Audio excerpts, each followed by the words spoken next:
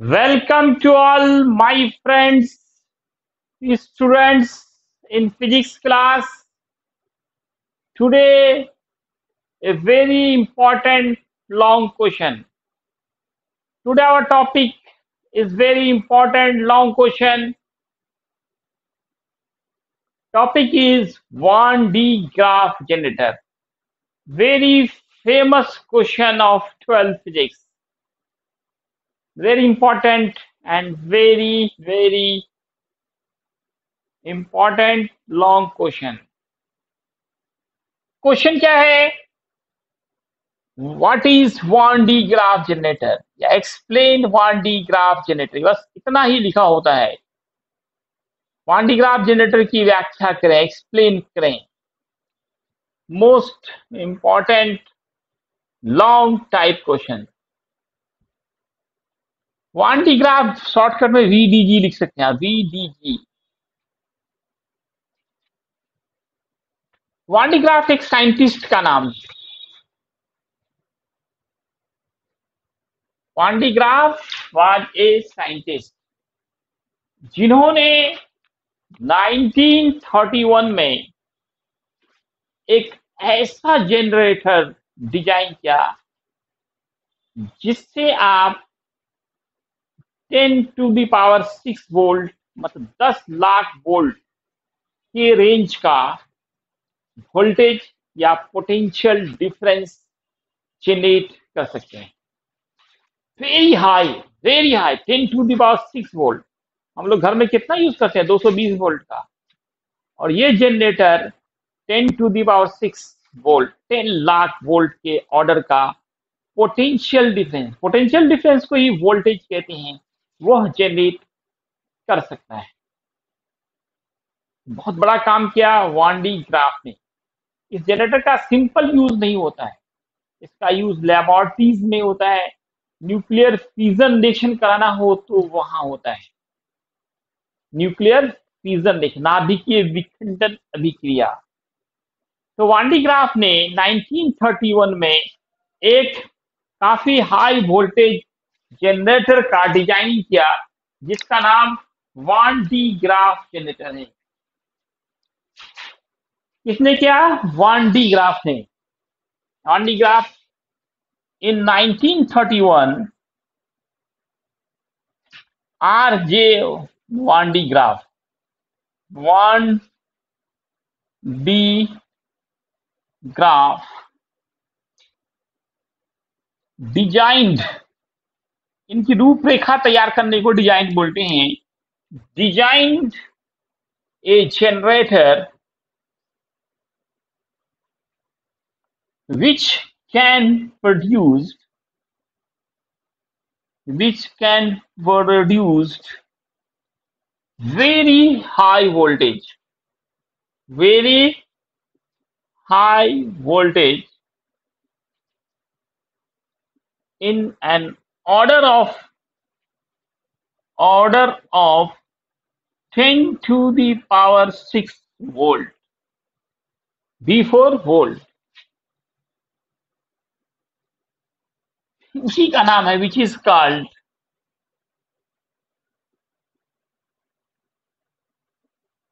Van de Graaff generator मैं shortcut लिखूँगा VDG Van de Graaff generator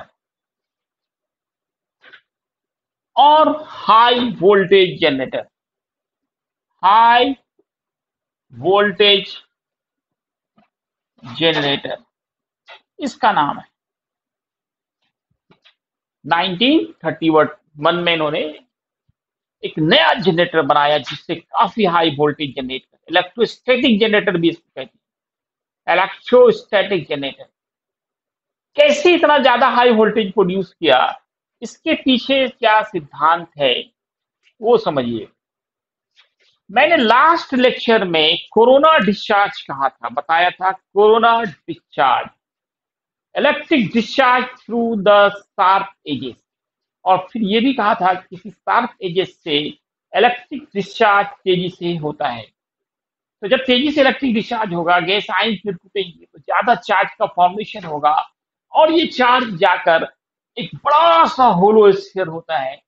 बहुत बड़ा big hollow sphere any big hollow sphere has great capacity to store charges तो सबसे पहले corona discharge कराया जाता है और फिर उसके जो चार्जेस डेवलप होते हैं, उसे एक बड़े होलो स्फीयर पे स्टोर करा कर, करा करके पोटेंशियल डिफरेंस को 10 टू दी पावर सिक्स मतलब 10 लाख वोल्ट की ऑर्डर तक आप पहुँचा सकते हैं। तो इसका प्रिंसिपल यही है, एक तो ये कि आपने कल देखा था कि नोकीले सिरे से इलेक्ट्रिक डिस्चार्ज तेज़ी से होता है। Electric discharge takes place takes place मतलब होना रैपिडली तेज़ी से। फ्रॉम शार्प एजेस शार्प मतलब नोकीला, नोकीले सिरे से इलेक्ट्रिक डिस्चार्ज तेज़ी से होता है। और दूसरा पॉइंट याद रखें कि एनी होलो स्फेयर कोई खोखला गोला हो any hollow hollow sphere has great capacity बहुत ज़्यादा चार्ज को स्टोर करने की कैपेसिटी होती है। Great capacity to store charges to store electric charges तो क्या होगा? तो पहले तो आप किसी नोकीले सिरे से इलेक्ट्रिक डिस्चार्ज कराएँगे, जिससे बहुत ज़्यादा चार्ज प्रोड्यूस होगा डेवलप होगा। और फिर ये जो चार्ज डेवलप होगा उसे हम लोग स्टोर कराते जाएँगे, इस पर एक बड़े होलो स्फीयर जिससे क्या होगा, जितना ज़्यादा चार्ज स्टोर करता है, उतना ज़्यादा वोल्टेज बढ़ता जाएगा। बढ़ते बढ़ते बढ़ते ये वोल्टेज टेन लाख से भी ज़्यादा वोल्ट का हो जाता है। टेन लाख से ज़्यादा। ये इसका सिद्धांत हो गया प्रिंसिपल हो गया, किनका? किनका प्रिंसिपल हो गया। किनका वांडी ग्राफ जेनेटर का क्या टॉपिक है हमारा? वांडी ग्राफ जेनेटर ये दो इसके सिद्धांत हो गए वांडी ग्राफ जेनरेटर के। अब आप इस जनरेटर में क्या क्या पार्ट्स लगे होते हैं? इनका मेन पार्ट्स क्या क्या होता है? वो आप देखें। इसमें एक बिग होलो स्पेयर होगा। आप तो समझ चुके होंगे, सिद्धांत से ही एक big a big hollow sphere खोखला गोला होगा, एक बड़ा सा खोखला गोला।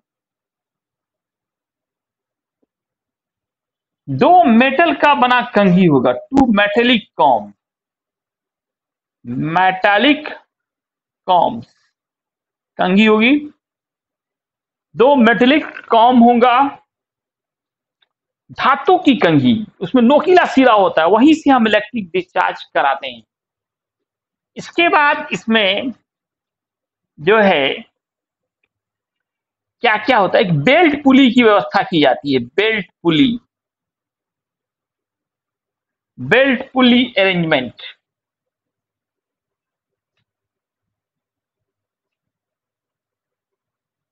और क्या होता है? इसमें कंक्रीट का, कंक्रीट कॉलम कॉलम मतलब होता स्तंभ पिलर खंभा। वेरी स्ट्रॉन्ग कंक्रीट कॉलम होते हैं। एक इलेक्ट्रिक मोटर होता है, जिसका काम पुल्ली को घुमाना होता है। इलेक्ट्रिक मोटर और source of electricity corona discharge कराने के लिए सोर्स ऑफ़ इलेक्ट्रिसिटी की ज़रूरत होगी। तो ये सारे एपरेटस इसमें लगे होंगे ईटीसी सबको हम लोग अर्थ से भी कांटेक्ट करते हैं अर्थिंग भी किया जाता है। तो ये सारे डिवाइसेस पार्ट्स किसी Van de Graaff generator में लगे होते हैं। वन डी ग्राफ जनरेटर में लगे होते हैं। दोस्तों, आप इसे अच्छे से नोट कर लें। कोई प्रॉब्लम हो तो ज़रूर आप कमेंट्स बॉक्स पे जाके पूछें आप, बहुत इंपॉर्टेंट क्वेश्चन है, इसको आप बार बार प्रैक्टिस करें। ये आखिरी क्वेश्चन होगा आपका। इस पूरे यूनिट एलेक्शो स्टैटिक का, जिसमें सबसे ज़्यादा आपको टाइम लगता है। इसके बाद टाइम नहीं लगेगा आपको जल्दी जल्दी आपका सिलेबस पूरा होगा। बहुत लोग अभी तक जो है ज़ीरो फ़ीस पे, उन्होंने एडमिशन भी नहीं कराया है। उन सबसे रिक्वेस्ट है, अगर आप, है ना? ऑफलाइन है तो ऑनलाइन आप अकाउंट पे फ़ी जमा कर सकते हैं। मैं अकाउंट नंबर आपको दे दूँगा। गूगल पे भी आप कर सकते हैं।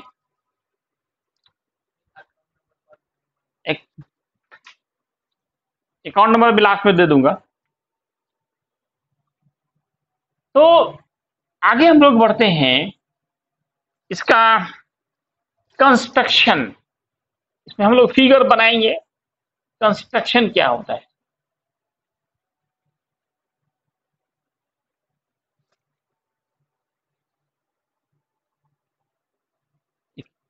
अकाउंट नंबर लिखिए हो ना। कंस्ट्रक्शन इसमें मैं पहले फिगर बनाता हूँ। एक बड़ा सा आप एस्फीयर लेंगे एक बिग होलो एस्फीयर बड़ा सा। एक होलो स्फेयर होगा। ये बिग होलो स्फेयर। काफ़ी बड़ा एस्फीयर होता है। जितना बड़ा होगा, उतना ज़्यादा कैपेसिटी होगी।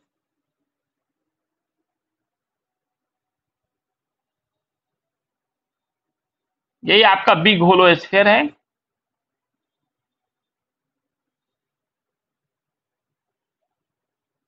इसको कंक्रीट के बने।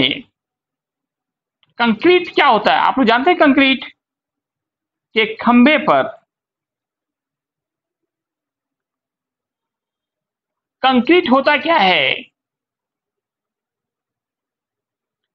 आप जो छत का ढलाई करते हैं, कंक्रीट से ही करते हैं। क्या क्या लगाते हैं बताइए आप लोग। छत की जो ढलाई होती है, कंक्रीट से होता है तो कंक्रीट में क्या क्या होगा? क्या क्या होगा दोस्तों? सीमेंट होगा, बालू होगा, सीमेंट, बालू, गिट्टी और रड। इन सबसे मिला के आप कंक्रीट कहलाता है। इसका मिक्सचर ही कंक्रीट कहलाता है।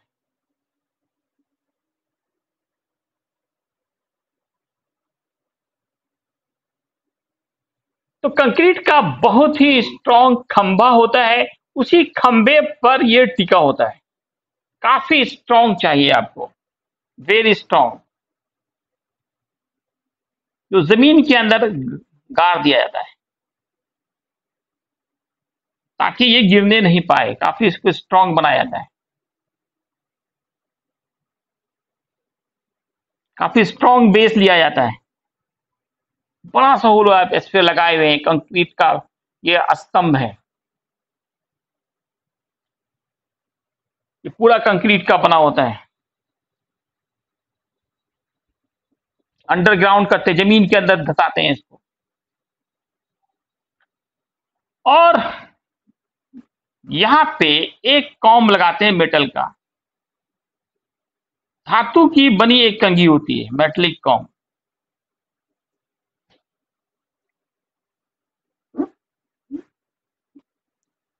मेटल का बना एक कॉम होता है इसको स्प्रे कॉम कहते हैं।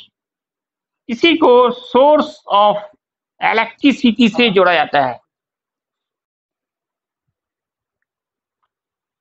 तो दोस्तों इसमें क्या होता है? एक बिग होलो स्फेयर यही है आपका होलो स्फेयर एक बड़ा सा बिग होलो स्फेयर है।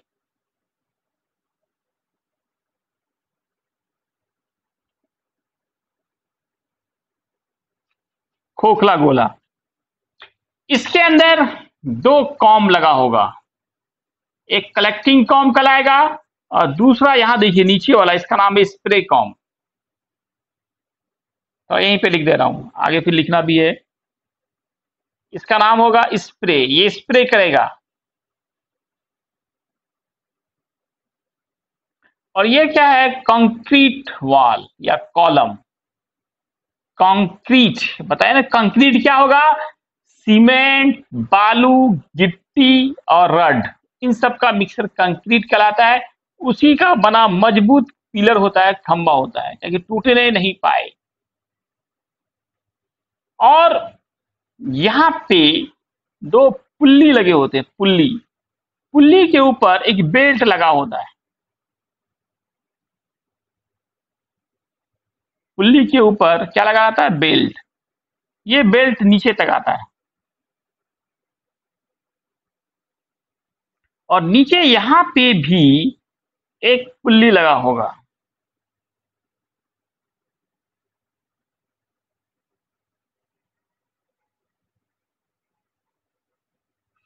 पुल्ली देखे हुए घिरनी इसको बोलते हैं। ये बेल्ट इसके ऊपर से क्रॉस करता, पास करता है। इस पुल्ली का कनेक्शन इलेक्ट्रिक मोटर से होता है।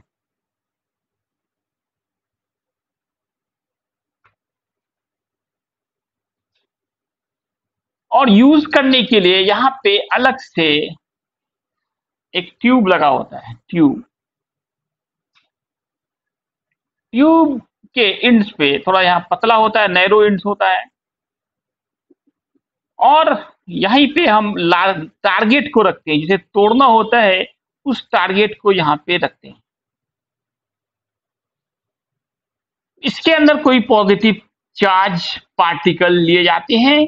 जब ये काफ़ी हाई वोल्टेज हो जाता है, ये हाई वोल्टेज इस चार्ज पार्टिकल पे बहुत बड़ा फोर्स लगाता है, जिससे ये बहुत तेज़ी से बाहर निकलता है और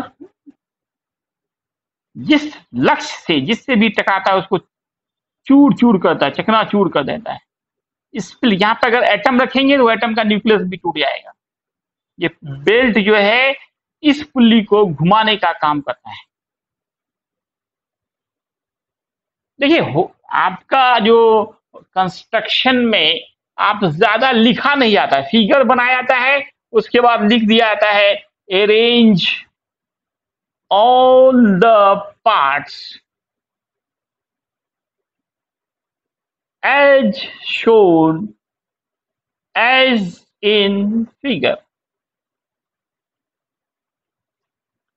बस इतना ही करना है कंस्ट्रक्शन में। मेन है आपको वर्किंग मेथड को एक्सप्लेन करना। काम ये कैसे करता है? वर्किंग मेथड क्या है कि सबसे पहले इस स्प्रे कॉम को हम लोग सोर्स ऑफ़ इलेक्ट्रिसिटी से जोड़ते हैं। तो यहाँ पे, क्योंकि नोकीला सिरा है, इस नोकीले सिरे से इलेक्ट्रिक डिस्चार्ज होगा। इलेक्ट्रिक डिस्चार्ज यहाँ चार्जेस का फॉर्मेशन होने लगेगा। और ये बेल्ट क्या करेगा? इन चार्जों को ढोकर ले जाएगा।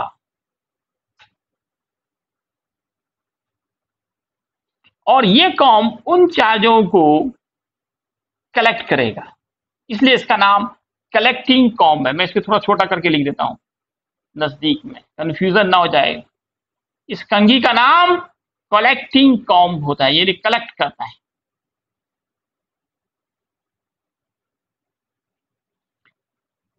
क्या करेंगे दोस्तों? वर्किंग समझिए। सबको अरेंज हो चुका है। अब हम लोग, ये सोर्स ऑफ़ इलेक्ट्रिसिटी है, इसका स्विच होता है, उसको ऑन करते हैं। यहाँ भी मोटर को ऑन कर देते हैं। ये पुल्ली, बेल्ट सब मूव करने लगता है। जैसे ही इस स्विच को ऑन करेंगे, क्योंकि यहाँ पे नोकीला सिरा है, जिससे इलेक्ट्रिक डिस्चार्ज होगा। चार्जेस यहाँ प्रोड्यूस होंगे और ये बेल्ट उन चार्जों को ढोकर ले जाएगा और ये कॉम उसको कलेक्ट करेगा। कलेक्ट करके खोखला गोला होलो स्फेयर को देगा। होलो स्फेयर क्या करता है? उन सभी चार्जों को स्टोर करता जाता है, स्टोर करता जाता है, जिससे अंत में इसका पोटेंशियल काफ़ी अधिक हो जाता है। दस लाख से भी ज़्यादा वोल्ट का हो जाता है। जब ये काफ़ी हाई वोल्टेज हो जाएगा, तब ऐसे में आप इस पे एक चार्ज पार्टिकल को रखेंगे, ये वेरी हाई वोल्टेज 10 लाख से भी ज़्यादा वोल्टेज इस पे एक ह्यूज फोर्स लगाएगा, जिससे ये चार्ज पार्टिकल तेज़ी से आउट होगा और जो भी लक्ष्य यहाँ पे होगा, उसे स्प्लिट कर देगा, तोड़ देगा, है ना? चकनाचूर कर देगा, आप ये कह सकते हैं। वहाँ पे अगर एटम के न्यूक्लियस को रखेंगे तो वो भी टूट जाएगा। न्यूक्लियर फ्यूजन रिएक्शन में इसका यूज़ करते हैं जनरली तो वर्किंग मेथड में आप क्या लिखेंगे? व्हेन ऑन द स्विच जब आप स्विच को ऑन करते हैं on the switch of source of electricity and electric motor दोनों को ऑन करना है। देन इलेक्ट्रिक डिस्चार्ज जिसको कोरोना डिस्चार्ज कहा गया था charge takes place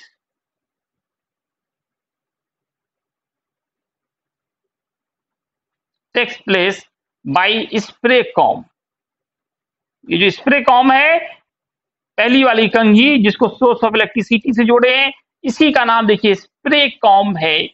ये क्या करेगा? चार्ज यहाँ पे इलेक्ट्रिक डिस्चार्ज होगा, जिससे चार्जेस डेवलप होंगे। When on the switch of source of electricity and electric motor दोनों का स्विच ऑन करेंगे then electric discharge takes place by spray comb जब इलेक्ट्रिक डिस्चार्ज होगा तो आप जानते हैं क्या डेवलप होगा? चार्जेस चार्जेस डेवलप जो होंगे, वह चार्ज इस बेल्ट के द्वारा यहाँ तक ले आएगा। ये बेल्ट का काम होता है चार्ज को ढेकर ले जाना। कहाँ तक? कलेक्टिंग कॉम तक। ये कलेक्टिंग कॉम उन चार्ज को कलेक्ट करके होलो स्फीयर को दे देगा। और होलो स्फीयर क्या करेगा? उसको स्टोर करेगा, जमा करेगा। जितना चार्ज जमा करेगा, उतना ज़्यादा उसका वोल्टेज बढ़ेगा। ये वोल्टेज बढ़ते बढ़ते बढ़ते टेन लाख वोल्ट तक हो जाता है। और इस हाई वोल्टेज में जब हम इसके अंदर किसी चार्ज पार्टिकल को रखते हैं पॉजिटिवली चार्ज पार्टिकल को जनरली लेते हैं, उस पर वो हाई फ़ील्ड एक बहुत बड़ा फोर्स लगाता है, जिससे वो चार्ज पार्टिकल तेज़ी से बाहर निकलता है और जो भी लक्ष्य होता है उससे टकराता है और लक्ष्य को टारगेट को वो तोड़ देता है। ये पूरा इसका वर्किंग है। यूज़ कहाँ करते हैं? न्यूक्लियर फ्यूजन रिएक्शन में करते हैं। आप फिगर समझ गए? अब मैं इसको इतना मिटा रहा हूँ, इसको नोट कर लें आप। अच्छे से फिगर बनाए। मैं आप सभी लोगों को एक जो है असाइनमेंट दे रहा हूँ। क्या असाइनमेंट दे रहा हूँ? कि आप सभी जो है अच्छा सा कवांटी ग्राफ जनरेटर बनाएँ, अच्छे सुंदर से पेंसिल से, है ना? और उसे आप YouTube के कमेंट बॉक्स पे ज़रूर उसको डालें। असाइनमेंट है, इसको आप ज़रूर बना करके इस फिगर को अच्छे सुंदर तरीके से बनाकर किसका वन डी ग्राफ जनरेटर को बनाकर दिखाना। उम्मीद है आप लोग एक्टिव बनेंगे और इसे ज़रूर आप बनाकर YouTube के कमेंट बॉक्स पे से डालेंगे। क्या बनाएँगे? वन डी ग्राफ जनरेटर का फिगर तो क्या क्या आपने सोर्स से जोड़ दिया स्विच को ऑन कर दिया तो इलेक्ट्रिक डिस्चार्ज होगा। इलेक्ट्रिक डिस्चार्ज से क्या होगा? Due to electric discharge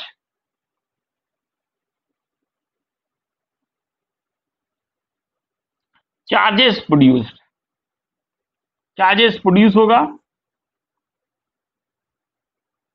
produced बहुत ज़्यादा चार्ज प्रोड्यूस होने लगता है।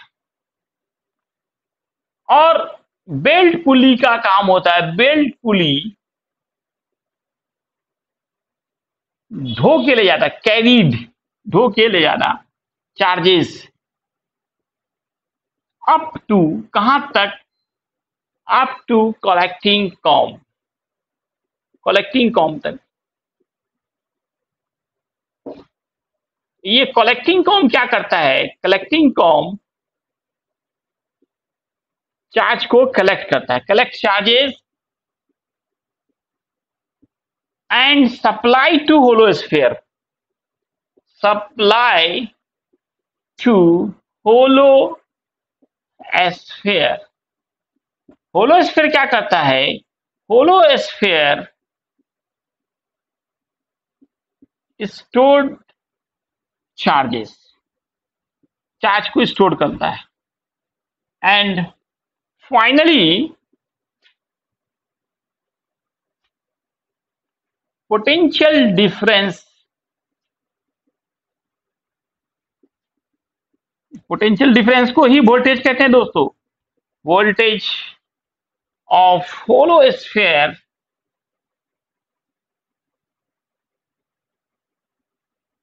becomes very high very high up to order of order of 10 to the power 6 volt. In this high electric field in this high electric field, if any charged particle is placed, if any charged particle is placed inside tube, long tube, then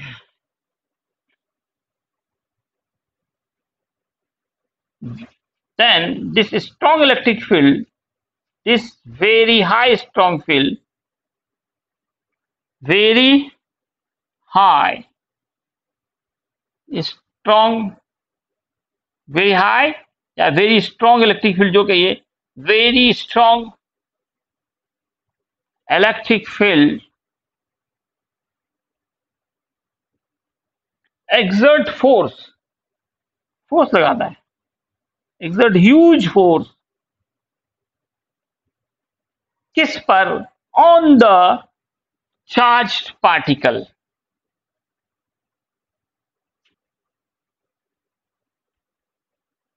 तो क्या होगा? Charge particle पे जब बहुत बड़ा force लगेगा तो वह चार्ज पार्टिकल एक्सिलेटेड मोशन में होगा और उसके अंदर काफ़ी ज़्यादा काइनेटिक एनर्जी स्टोर हो जाएगी। और जब वो किसी टारगेट से टकराएगा तो टारगेट जो है, वह टूट जाएगा। टारगेट क्या होगा? स्प्लिट कर जाएगा। Exert huge force on the charge particle मैं इसे मिटा रहा हूँ। ह्यूज फोर्स ह्यूज फोर्स मतलब बहुत बड़ा बल। ह्यूज फोर्स इज़ अप्लाइड बहुत बड़ा फोर्स लगाता है। ऑन चार्ज पार्टिकल फोर्स लगेगा तो क्या होगा? एक्सिलेशन प्रोड्यूस होगा। एक्सिलेशन प्रोड्यूस होगा वेलोसिटी बढ़ेगी। वेलोसिटी बढ़ेगी तो काइनेटिक एनर्जी बढ़ेगी। और जब ये हाई काइनेटिक एनर्जी वाला पार्टिकल जिससे भी टकराएगा, उसे चूर चूर कर देगा। Due to which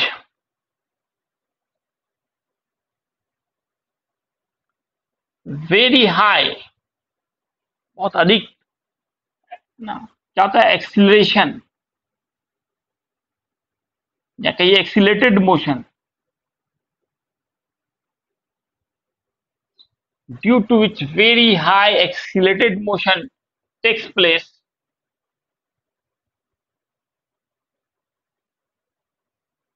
in charge particle charge particle to as a result of which which uh, velocity and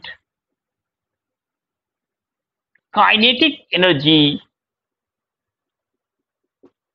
of charged particle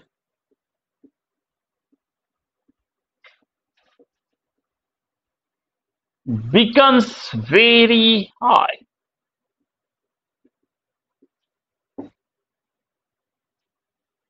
This highly kinetic energy particles, kinetic energy particles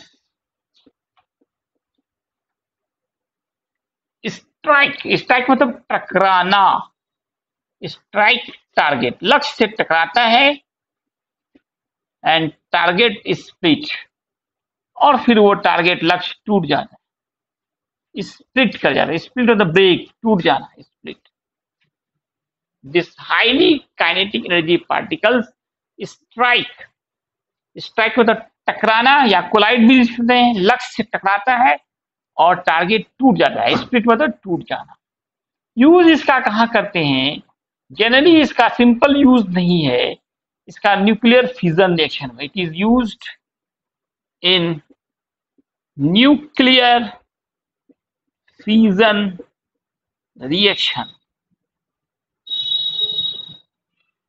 इसका यूज़ न्यूक्लियर फ्यूजन रिएक्शन में किया जाता है।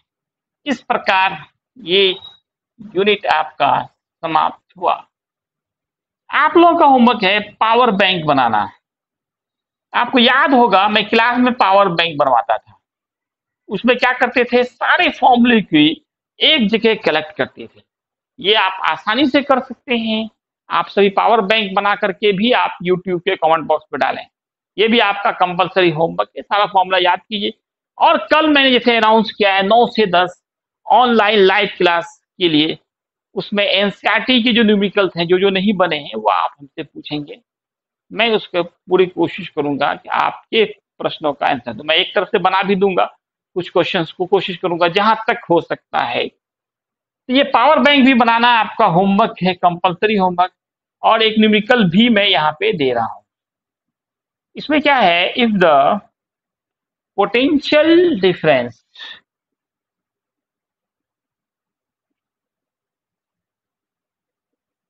produced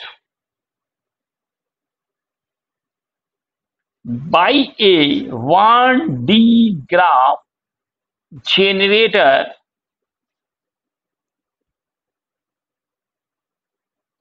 is 10 to the power 6 volt. And electric field dielectric dielectric strength.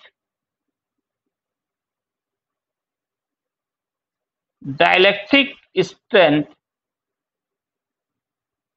of a sphere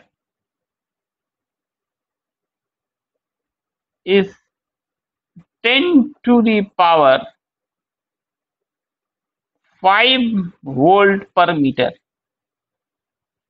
करना क्या है then find out minimum radius of sphere find out minimum बहुत आसान सवाल है। ये एनसीआरटी सवाल भी है। मिनिमम रेडियस ऑफ़ एस्फेयर दोस्तों एनसीआरटी में ऐसे अब आपको दो चैप्टर्स करने हैं। एनसीआरटी में ये जो हम लोगों ने चार चैप्टर जो पूरा पढ़ा, उसमें सिर्फ़ दो चैप्टर्स में दिए। दोनों चैप्टर्स के हर एक न्यूमिकल्स को आप बनाए एडिशनल एक्सरसाइज भी बनाए। ऐसा नहीं एडिशनल आपके लिए नहीं है। देखा गया है कि जो लॉन्ग क्वेश्चन होते हैं, वो एडिशनल से ही होते हैं।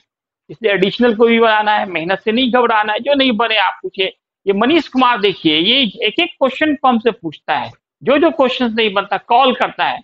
आप लोगों का मोबाइल का कॉल किसके लिए है, समझ में नहीं आता है। कभी एक कॉल करके आप एक क्वेश्चन भी नहीं पूछते हैं। मनीष तो क्वेश्चन किताब सामने रखता है और पूछता है। तो आप लोग भी इसी तरह से मेहनत करें और आप लोग कल की पूरी तैयारी करें। कल हम लोग लाइव क्लास के लिए तैयार हैं। धन्यवाद।